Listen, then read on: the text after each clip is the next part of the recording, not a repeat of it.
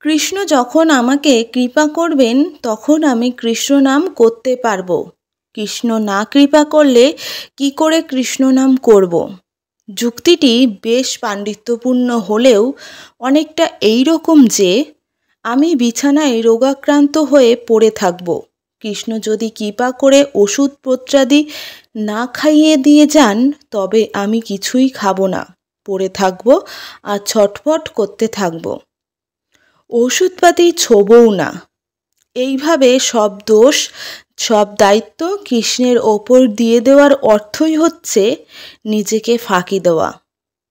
কথাই বলে অতি পাণ্ডিত্যের গলায় দড়ি।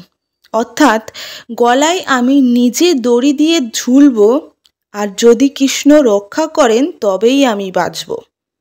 অন্যথায় আমার বাঁচার দরকার নাই।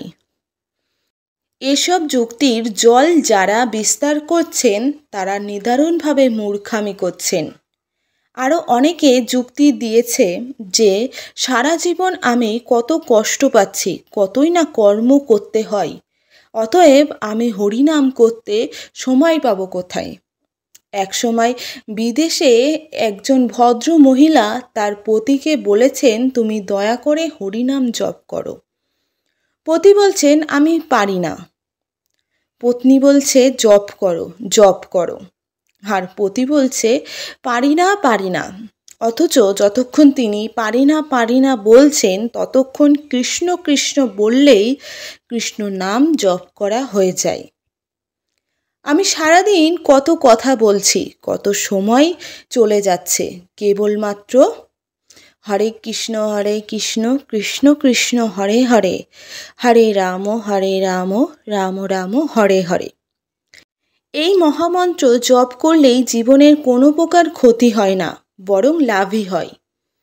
শাস্ত্রে নির্দেশ হলো যে, এই হরিনাম জব কীর্তন একান্তভাবে করলে জীব জন্ম, মৃত্যু জরাব্যাধির ভবচক্র অতিক্রম করে অনন্তময় জগতে উত্তীর্ণ হতে পারবে।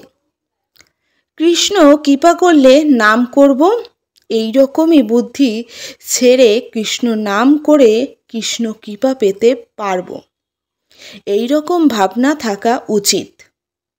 মহামন্ত্রটি একটি প্রার্থনা। আগে প্রার্থনা করে তবে কৃপা পাওয়া যায়। কারও কৃপা লাভ করতে হলে তার কাজে আগে প্রার্থনা করতে হয়। আগে কেউ কৃপা করলে তারপরে প্রার্থনা করব, এমনটি তো পাগলের মতনই কথা। হরে কৃষ্ণ, রাধে রাধে।